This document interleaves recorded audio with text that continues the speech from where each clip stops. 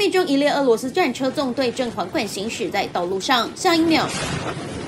伴随一声轰然巨响，前方战车瞬间爆炸，起火燃烧，领阵甚至还四处喷飞。后方同袍眼看情况不对，也赶紧撤退逃离现场。换个镜头得直击到，一门俄军自走炮遭导向式多管火箭炸成一团废铁，几乎已看不出原本模样。同一时间，不同战场，另一辆二 S 三自走流炮车逃不过相同命运，在海马斯的威力之下，统统被炸成火球，巨大的蕈状云也直窜天际。